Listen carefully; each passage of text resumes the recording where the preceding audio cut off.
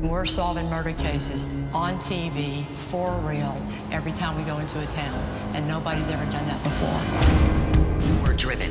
We don't stop. We're thorough. We'll take it to the end and then see where we can go.